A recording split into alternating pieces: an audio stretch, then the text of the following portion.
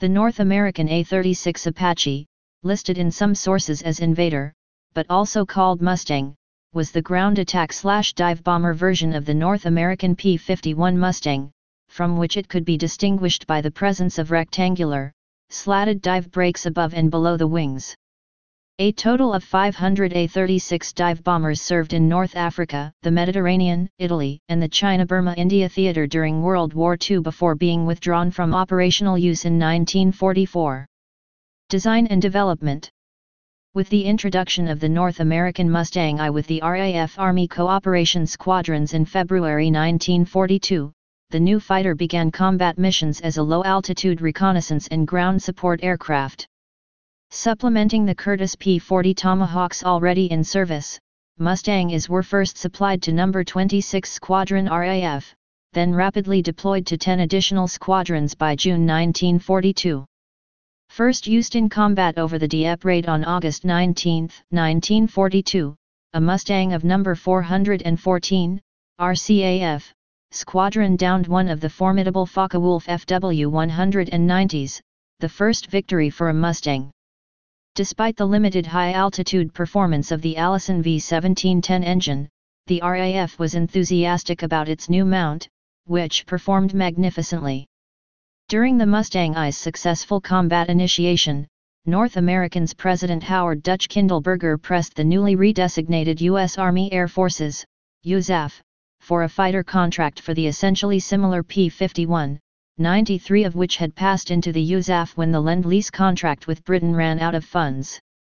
The Mustang IA-P-51 used 420mm Hispano wing cannon in place of the original armament, a combination of four wing-mounted .30 caliber, 7.62mm, M1919 Browning machine guns and 4.50 caliber, 12.7mm, M2 Browning machine guns, two of which were mounted in the wings, while the second pair was mounted in the chin, or lower engine cowling, and synchronized to fire through the propeller. No funds were available for new fighter contracts in fiscal year 1942, but General Oliver P. Echols and Fighter Project Officer Benjamin S. Kelsey wanted to ensure that the P-51 remained in production.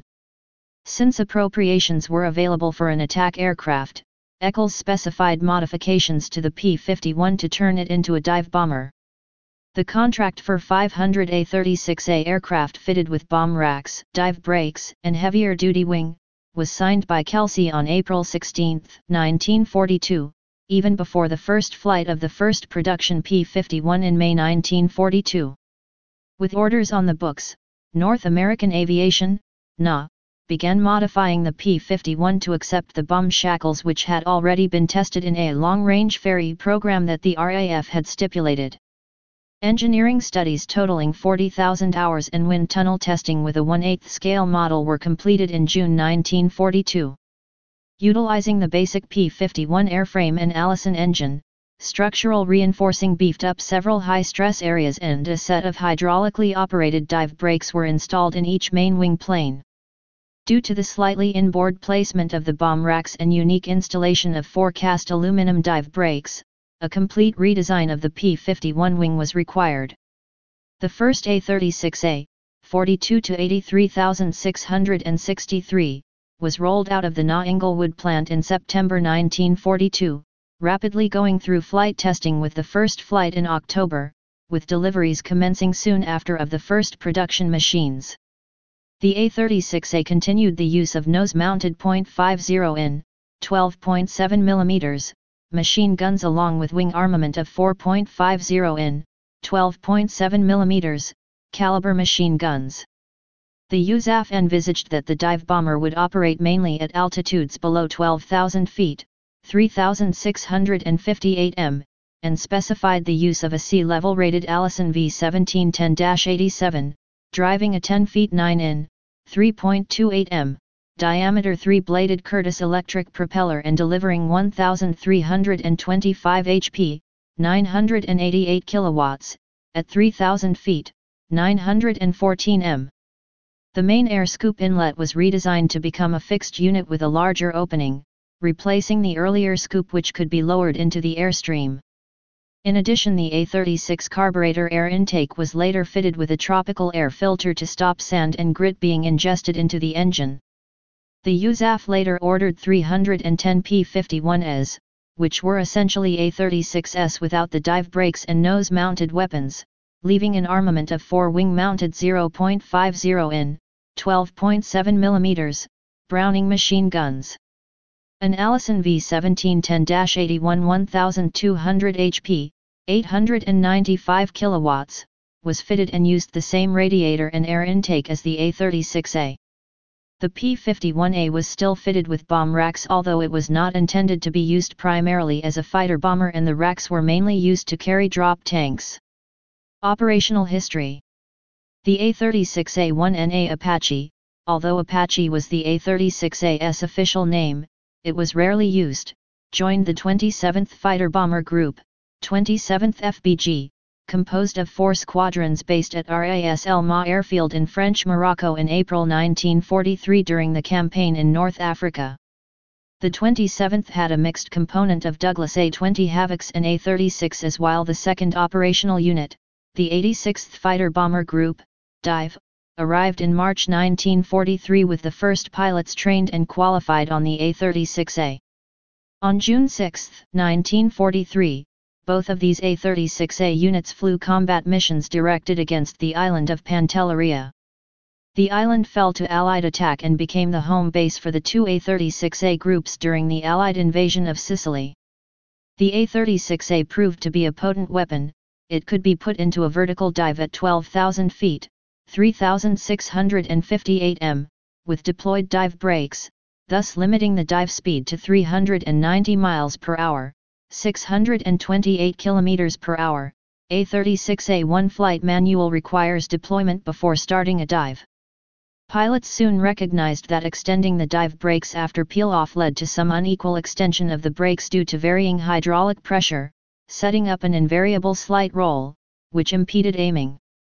Proper technique soon cured this anomaly and, subsequently, pilots achieved extremely consistent results. Depending on the target and defenses, the bomb release took place between 2,000 feet and 4,000 feet, 610 and 1,219 m, followed by an immediate sharp pull-up. Dive brakes in the wings gave the A-36 a greater stability in a dive, however, a myth has arisen that they were useless due to malfunctions or because of the danger of deploying them and that they should be wired closed. Captain Charles E. Dills, 522D Fighter Squadron, 27th FBG, XIth Air Force emphatically stated in a post-war interview, I flew the A-36 for 39 of my 94 missions, from 1143 to 344 They were never wired shut in Italy in combat. This wired shut story apparently came from the training group at Harding Field, Baton Rouge, LA. However, tactical reconnaissance training with P-51 and A-36 aircraft had delivered some disquieting accident rates. At one time, A-36 training had resulted in the type having the highest accident rate per hour's flying time of any USAF aircraft. The most serious incident involved an A-36A shedding both wings when its pilot tried to pull out from a 450 miles per hour, 724 kilometers per hour, dive. Combat units flying the A-36A were ordered to restrict their approach to a 70 degrees glide attack and refrain from using dive brakes. This order was generally ignored by experienced pilots, but some units did wire dive brakes shut until modifications were made to the hydraulic actuators. Nevertheless, the A-36 was used with great success as a dive bomber, acquiring a reputation for precision, sturdiness, and silence. By late May 1943, 300 A-36s had been deployed to the Mediterranean theater, with many of the first batch sent to the 27th FBG to rebuild the group following losses as well as completing the final transition to an all A-36A unit. Both groups were actively involved in air support during the Sicilian campaign, becoming especially adept at mopping up enemy gun positions and other strong points as the Allies advanced. During this operation, the 27th FBG circulated a petition to adopt the name Invader for their rugged little bomber, receiving unofficial recognition of the more fitting name. Despite the name change, most combat reports preferred the name Mustang for all of the variants. The Germans gave it a flattering, if fearsome, accolade, calling the A-36 as, Screaming Hell Divers. Besides dive bombing, the A-36A racked up aerial victories, totaling 84 enemy aircraft downed and creating an ace, Lieutenant Michael T. Russo from the 27th FBG, ultimately, the only ace using the Allison-engined Mustang. As fighting intensified in all theaters where the A-36A operated, the dive bomber began to suffer an alarming loss rate with 177 falling to enemy action. The main reason for the attrition was the hazardous missions that placed the A-36A on the deck facing murderous ground fire. German defences in southern Italy included placing cables across hilltops to snare the attacking A-36s. Despite establishing a reputation for reliability and performance, the one Achilles heel of the A-36A, and the entire Mustang series, remained its ventral fuselage location radiator slash cooling system, leading to many of the losses. By June 1944, A-36s in Europe were replaced by Curtiss P-40S and Republic P-47 Thunderbolts. A-36s also served with the 311th Fighter Bomber Group in the China-Burma-India theater. The 311th had arrived in Dinjan, India by late summer 1943 after being shipped across the Pacific via Australia. Two squadrons were equipped with the A-36A while the third flew P-51s. Tasked with reconnaissance, dive bombing, attack, and fighter missions, the A-36A was outclassed by its main opposition, the Nakajima Ki-43 Oscar. The light and highly agile Japanese fighter could outmaneuver the A-36A at all altitudes but did have some weak points, it was lightly armed and offered little protection for pilot or fuel tanks. However, the A-36A fought at a significant disadvantage, having to carry out long-range missions often at altitudes above the hump that meant its Allison engine was below peak performance. In a fighter escort mission over Burma, three A-36s were lost without scoring a single victory. The A-36A CBI missions continued throughout 1943-1944 with indifferent results. The A-36A remained in service in small numbers throughout the remaining year of the war, some being retained in the U.S. as training aircraft. The type's relatively brief service life should not camouflage the fact that it made a major contribution to the Allied war effort especially in the Mediterranean and it amounted to the first USAF combat use of a Mustang variant. The effectiveness of the A-36 as a ground attack aircraft was demonstrated on June 5, 1944. In a well-planned attack on the large, well-defended rail depot and ammo dump at Orte, Italy, Lieutenant Ross C. Watson led a flight of four A-36s through a heavy overcast on the approach to the target. Watson's A-36s scored several hits under intense anti-aircraft fire although his aircraft was damaged by ground fire. Under continuing heavy ground fire, Watson pressed home his attack and destroyed the ammo dump before making an emergency landing at an advanced Allied airfield. Operators United States U.S. Army Air Force 27th Fighter Bomber Group. 86th Fighter Bomber Group. 311th Fighter Bomber Group. United Kingdom.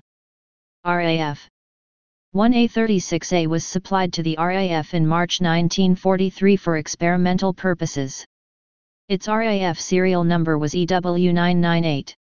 Survivors Relatively few A36s survived the war and the subsequent post-war retirement and scrapping of obsolete types.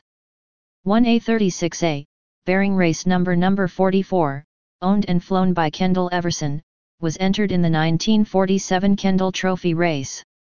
The old warhorse was able to reach 377.926 miles per hour, finishing second to the winning P-51D flown by Steve Beville.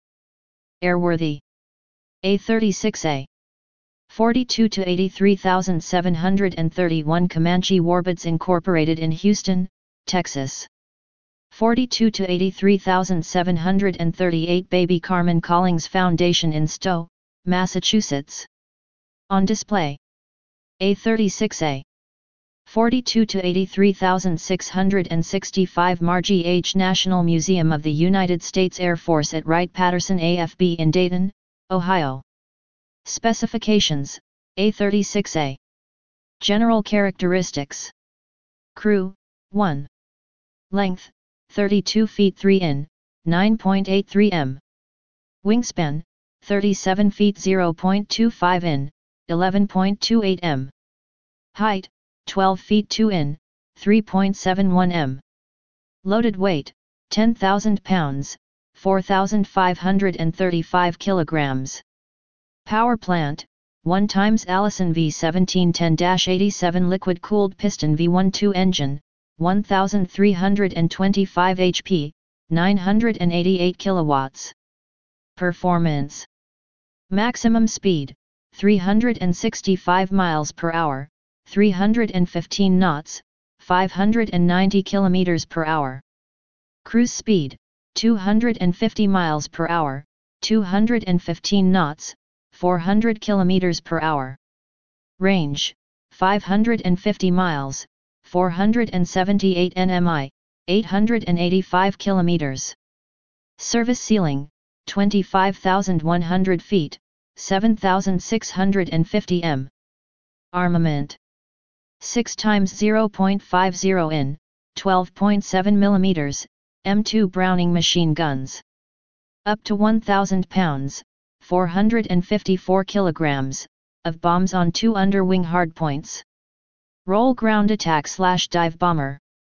Manufacturer North American Aviation. Designer Edgar Schmued. First flight October 1942. Introduction 1942. Retired 1945. Primary users United States Army Air Forces. Civilian Air Racer. Number built 500. Unit cost $49,000. Developed from P-51 Mustang. Please subscribe and thanks for watching.